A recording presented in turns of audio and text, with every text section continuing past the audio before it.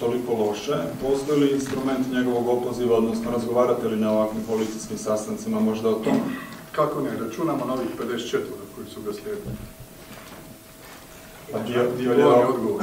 dio lijeve oporbe danas se ogradio od njegovih izjava. Mene zanima jeste li vi sad na koaliciji Mi, mi, mi jako cijenimo glasovanje socijaldemokrata, jako glas, cijenimo glasovanje IDS-a, jako cijenimo glasovanje gospode Vrkljana i Hasanbegovića i izrazito smo e, nezadovoljni zbog njih, nesretni zbog njih, žao zbog njih, onih 54 koji nisu u jedinom bitnom vrijednostnom glasovanju koje su imali u ovom sazivu, bili na pravoj strani morala, povijesti, principijalne vanjske politike, dugogodišnje, jasne, čvrste pozicije Hrvatske kao zemlje koja je sama bila žrtva agresije, kao zemlje koja je e, i miroljubiva i slobodoljubiva i zemlje koja gradi partnerstva i suradnju sa svojim saveznicima, a ne zemlje koja nije u stanju pomoći onome koji je žrtva u najvećem ratu koji se zbiva i agresiji i invaziji Rusije na Ukrajinu na europskom kontinentu. To je cijela bit ovoga svega i ne, ne možemo to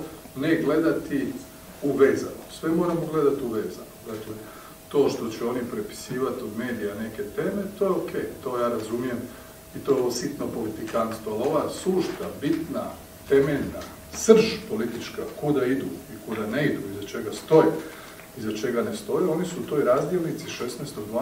pokazali sami sebe diskvalificirali. Tako da ne, nismo raspravljali opozivu, jer su ovih 54 ozbiljne razgovore teško da možemo voditi, osim ako se neko od njih eto ne preobrati.